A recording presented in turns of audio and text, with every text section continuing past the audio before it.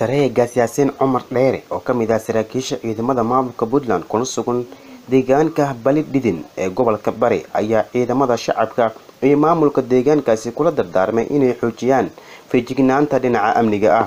Taliyaha ayaa tilmaamay in markii hore deegaanka amnigiisa u ahaa mid la isku haleyn karo balse hadda uu wajahayo xaalado kala duwan oo dhinaca amniga ah.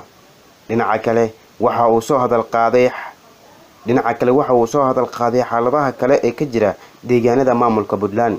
Yaasiin cumar dheere ayaa dhinaca kale ka hadlay in dhowaan ay bilaabayaan howlgal lagu xaqiijinayo amniga oo ka dhici doono deegaanada maamulka puntland gaar ahaan degmada bali dhidin ee gobolkaasi bari maanta waa laydinku soo duulay.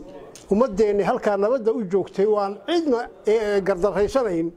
Baa lagu soo duulay. Dad baa inoo yimi meelo fogfog inoo ka yimi oo hadda buuraheennaas ku jira oo waxay doonayaan aanan garanay. Waxaanu ka haysanno xoolo iyo xukum midna ma jiro. Wax miyaynu ka haysannaa? Waxaynu ka haysannaa ma jiro. Waa aabi iyo gardarro noloo ku yimi weeye.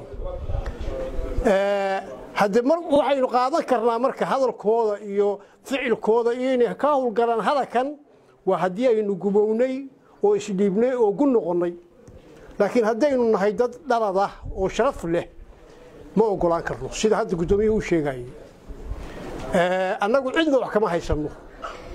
Dadka halkaa ku jira qaar baanaan afkooda garanayn waynaan af garanayn.